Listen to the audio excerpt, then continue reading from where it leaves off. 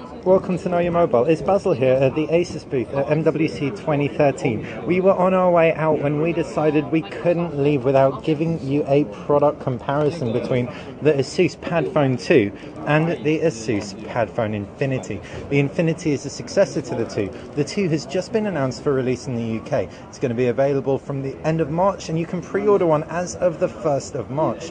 It is, however, a pretty old device in comparison to the Asus Padfone Infinity. This was announced a while ago.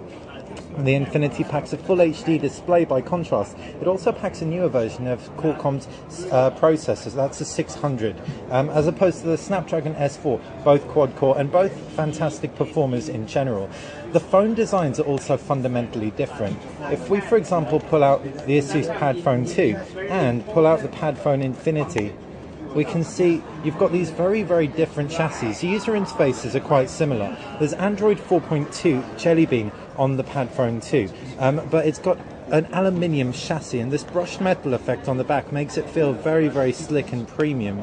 Um, if we put that down we can see the Padfone 2 in contrast to the Infinity has a plastic backing. It's nice and grippy don't get us wrong but it definitely doesn't feel quite as rich in the hand.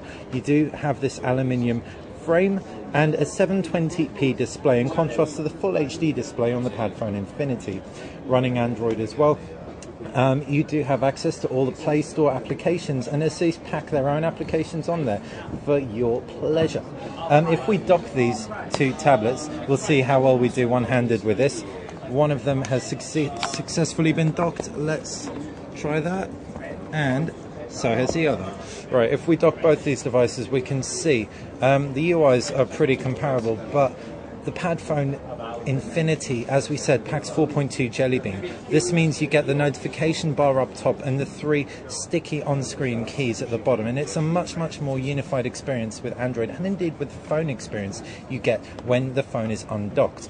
As far as design elements go, the tablet doesn't really have any ports on it per se, but you do have buttons. You've got a volume rocker to the left and a power button up top.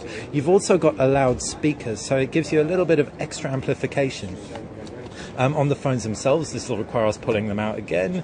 Um, you have, as we said, that aluminium body, micro SIM tray to the left hand side. Down below is a micro USB port, or it's a proprietary port on the phone, micro USB on the tablet, do you believe? Not entirely sure how that setup works. On the right side, you've got a power button and a volume rocker, as well as the speaker up top, 3.5mm headphone jack. Now, what's quite nice and clever is on the reverse, the Padfone insignia is actually the NFC point. Um, so, despite being a metal body, you do still get near field communication. Up top, 13 megapixel rear facing camera along with an LED flash. Taking a look at the original or the Padfone 2, we can see you've got pretty similar amount of ports. So the base, you've got that same port on the right side. Uh, volume rocker, power button, up top 3.5mm jack, micro SIM eject tray, flipping it round. It does have NFC, um, plastic backing, that isn't an issue, and a 13 megapixel camera once again. We're not entirely sure if this is the module found on the Sony Xperia T. Think the new version has the new Sony Exmor RS sensor, though don't quote us on that. Fundamentally, as well, as we said, the processors are different. 2 gig of RAM on each, but there's a Qualcomm Snapdragon S4 in the Xperia, uh, sorry, a Qualcomm Snapdragon S4 in the Padfone 2, and a Qualcomm Snap, uh, Snapdragon 600 in the Infinity. That display is also gorgeous, packing a PPI, that's pixels per inch, of 441. As far as batteries go, um, both devices pack pretty huge batteries inside, but they've also got rechargeable batteries inside the docks for when they're docked. So that's been a quick comparison between the Padfone and the Padfone 2. If you've got any questions, please fire us a comment below.